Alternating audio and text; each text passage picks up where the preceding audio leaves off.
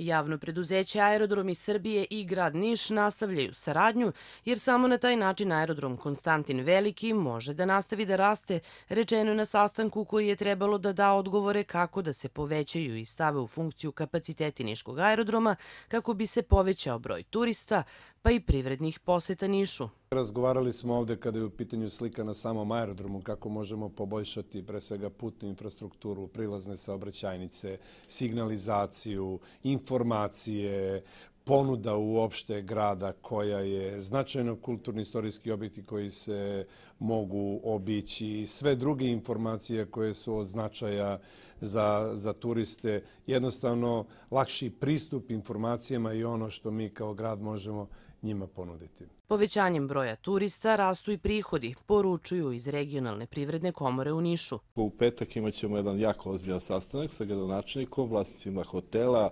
a, i organizatorima manifestacije u našem gradu kako bi razgovarali na temu kako da postaknemo a, veći broj manifestacija uopšte sadržaje i zadržimo te turiste na više od jednog dana koje obično trenutno slučaj i na taj način povećamo iskorišćenja tih turističkih kapaciteta i e, ovaj, dužinu boravka tih turista. Prema rečima direktora javnog preduzeća Putevi Srbije Mihajla Zdravkovića, razvoj aerodroma Konstantin Veliki direktno je povezan sa projektima koji se realizuju zahvaljujući podršci Vlade Republike Srbije i nadležnog ministarstva građevinarstva, saobraćaja i infrastrukture. U četvrtak smo potpisali uh, ugovor sa uh, kompanijom za izradu projektno-tehničke dokumentacije nove terminalne zgrade. Dakle, nova terminalna zgrada će uh, biti pored postojeće, bit će površine najmanje 5000 kvadratnih metara i mi očekujemo da u toku ove godine završimo sve pripremne istražne radove i dobijemo građevinsku dozvolu kako bi sledeće godine mogli da krenemo sa izgradnjom nove terminalne zgrade.